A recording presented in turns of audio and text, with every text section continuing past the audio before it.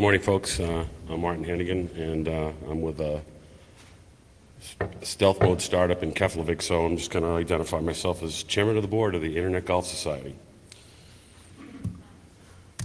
I've got a lot of slides here, so I'm going to I'm going to try and fly through them relatively quickly. Um, I thought that the pretty pictures at the end would be more interesting.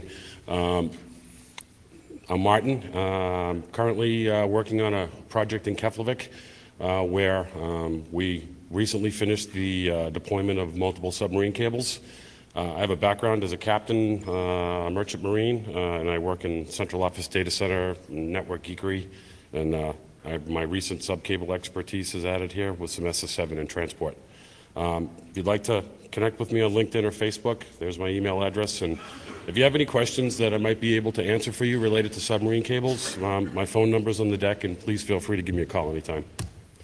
So we're going to really quickly cover uh, a situation, uh, a situation report, a, a quick business case, uh, scope of the project, timeline, a summary, go over some interesting stuff, and take questions if we have time. So situation is this. Iceland's surrounded by water, obviously. Uh, there's a low cap cable, uh, there's a high cap cable. Uh, there's a history of backhaul aggression on the high cap cable backhaul elements. The high cap cable terminates in Dunnet Bay and terrestrially backhauls down to London. Uh, the low cable, the low cap cable is going to end a life soon. Cable lifetime is roughly 15 to 20 years. Um, obviously, this access is unsuitable for a high cap uh, business or high cap business requirements, and there's no good internet access anywhere as well. So this is the existing cable. This is called FAR-ICE 1. Uh, leaves the east coast of Iceland. Uh, it branches to the Faroe Islands. If you see this, uh, this connection here that kind of, you'll see one, you know, you'll see the whole leg go down to Dunnet Bay and then you see a cut to these islands. What we do there is we use a branching unit. We drop a piece of steel or beryllium copper in the water with uh, all the electronic components, and there's literally it's there's three turrets, and out of one of those turrets, we splice in another cable and we take it to another route. So, business case to fix the situation with the capacity, um, you know, you have to look at the drivers. Uh, what's the problem? Well, our problem is that there's no redundancy and there's not enough capacity. Um, you have to look at security. The submarine cables actually contribute to national security because they allow you to, they allow you to communicate with other nations and they allow access to the internet, media to flow. Um, there's political aspects of it. There's uh, freedom of information aspects. There's you know rights to access.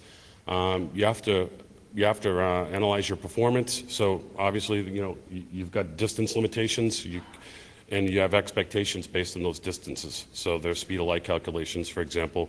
Um, you know, I think it's 0.75 milliseconds for 150 kilometers. Um, you run a cable 3,000 kilometers, you can do the math and figure out what the rough latency is. And finally, the return on investment. Are you expecting to get any return? Are you going to uh, sell light, are you going to sell wave pairs? Are you selling access? Um, and so on. So the parameters of the project were to look at the wet and dry plant. Um, you do a full due diligence. You go out and you meet the manufacturer. In this case, it's Tyco. Um, you look at the electronics, you look at the cable types. There's multiple cable types depending upon the depths and the, and the, geog- and the geology of the bottoms. Um, you look at the dry plant, what, what electronic components are going to be in the landing stations. Um, it's fairly proprietary by vendor. So if you're going with Tyco, you're going to see obviously Tyco equipment in the landing station or Alcatel. You'll see Alcatel all the way from uh, the DC power plant to uh, all the add drop mux. Um, you, need, you define the capacity, and you do that by defining how many, how many pairs of fiber are going to be in a cable. Um, you can, you can drop a cable with two pair of fiber, four or eight. The biggest cable that I'm, that I'm aware of is an eight pair cable. There's probably something bigger, I just don't know about it. Um, you, have to, you have to determine the routing. Uh, you have to look at where it's going to go undersea and how you're going to backhaul it to get it to the rest of the world. Um, and then finally, you need to determine what, what your service date is going to be. The risks, length, uh, too long may, may uh, introduce too much delay and may not be suitable for your purposes. Um, uh, it, it, also may be just fine. Uh, the repeater distance and sparing, that contributes to future upgrades um, to, with op amps. Uh, the closer the, uh, the repeaters or the op amps, the more capacity that you're going to pump out and the, likely, the better likelihood that you'll be adaptable for a future upgrade. Just like we're discussing uh, 40 gig and 100 gig uh, cable operators are uh, doing the same thing, and that's going to require uh, upgrades in the future. Um, You have to, two minutes? Okay, five minutes, okay. You have to be aware of shipping. You obviously don't want your, your cables in a shipping lane if, if it's possible, but as we saw in the Middle East, that's really not possible because uh, all the cables run through the Strait of Hormuz, and uh, that's a pretty tight place to be. You have to be aware of fisheries. Um, You actually have to play pretty nice with fishermen. Fishermen have associations just like we do, um, and when you commission your uh, cable, you go and talk to the fishermen, and you sit down and you show them the routes that you think that you want to use, and then they identify what, where, where their fisheries are, and you negotiate a settlement so that you place a cable in places that they don't like to fish. Anchors and backhoes, uh, big, big problem, and probably uh, greater than 50% of uh, the cause of outages. What anchors do, um, you know, these submarine cables are hard targets. You don't just go bring your ship over one and drop an anchor on it and go, whoops. You, when, when a ship drops an anchor, they drop the anchor, they lay out some chain to add some weight to hold the ship in place. Um, and then if the captain of that ship doesn't do the right thing, the ship starts dragging, the anchor catches onto the cable, the cable snaps under its own weight. It's fairly straightforward. It's basically the idiot factor. Uh, and then finally, permitting. To, to cross all these uh, international boundaries and things, you need, to, you need to apply for permits and get permission, and in some cases, you need to pay taxes. So the chronology of the project. You sign an intent to proceed. Uh, that basically gets the cable operator in, uh, gets the engineering moving, gets the materials acquisition going. They commission the desktop study. The desktop study is the uh, analysis of the route that you're going to take. Uh, you're actually going to lay the cable. Uh, you complete the engineering, you acquire the real estate for the landing stations, and then you sign your final agreement.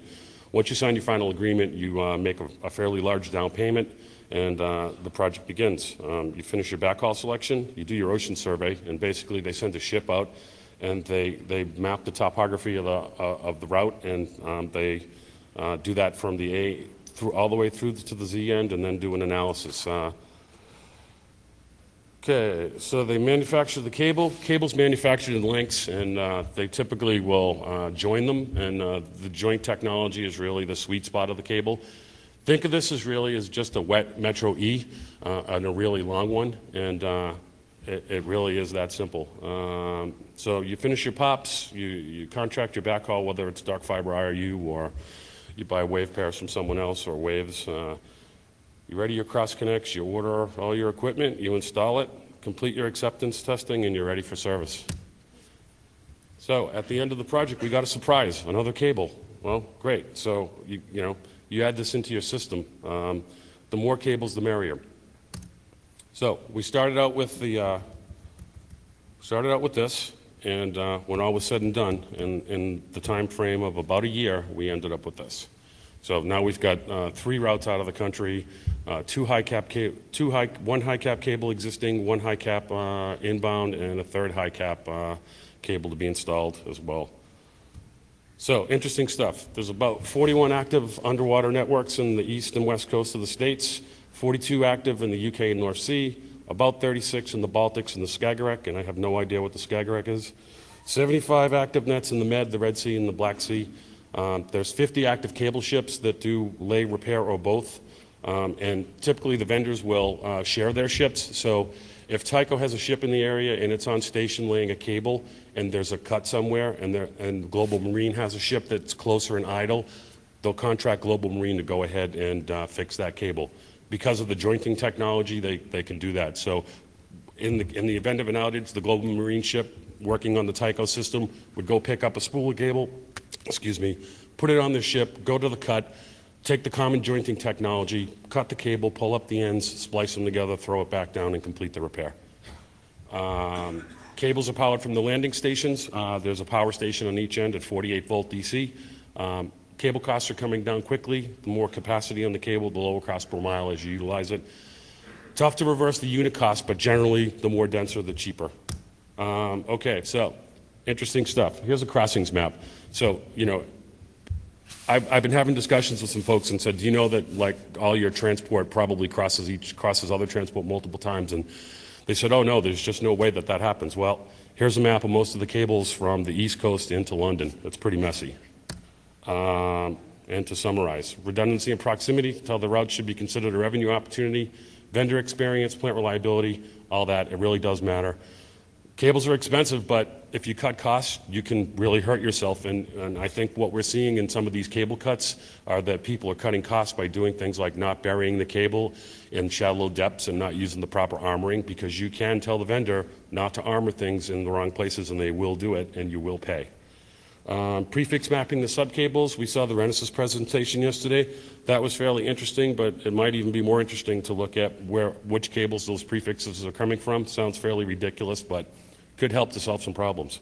Tele, TeleGeography and cable operators are your friend. They'll tell you anything you want to know because they want you to know where their cables are so that you don't damage them.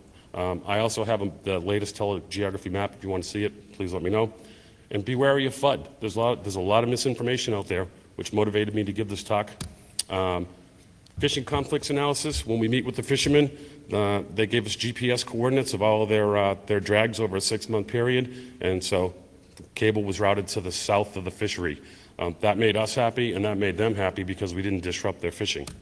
Um, here's an, another example of routing. This is the leg that goes into the Faroe Islands. You'll notice these numbers here. These are depths, um, 21, 38 meters. All nautical charts are in meters. Um, pretty deep. A fishing net's not going to catch this, and you don't have to heavily armor it, so you can save a little money here. This is a, ocean floor bathymetry. What you're seeing here is a, a canyon, and these colors are uh, current current uh, analysis. You wouldn't want to put a cable in here because uh, if that if the wall of that that that route collapses, it's going to break the cable. Also, if there's a high amount of current, it causes a condition called strum. The cable goes back and forth on the floor of the ocean and it basically rots and you go out of service. Also, you wouldn't want to run a cable across this and have it hanging because you might piss off a submarine captain. Uh, here's a landing station. I'm not kidding.